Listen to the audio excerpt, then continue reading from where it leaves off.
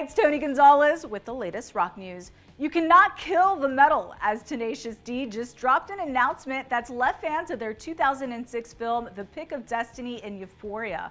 While on stage at the Shaky Knees Music Festival last weekend, Jack Black announced Tenacious D will be making a sequel to The Pick of Destiny. I don't know where you'll be able to see it, but we have decided that it's happening and it's coming out, Black said.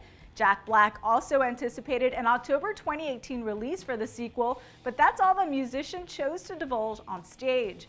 Though The Pick of Destiny was a box office bomb upon its release, only taking in 14 million of its $20 million budget, the film has become a cult classic thanks in part to musical cameos from Ronnie James Dio, Dave Grohl, and Meatloaf. For more details, head over to loudwire.com.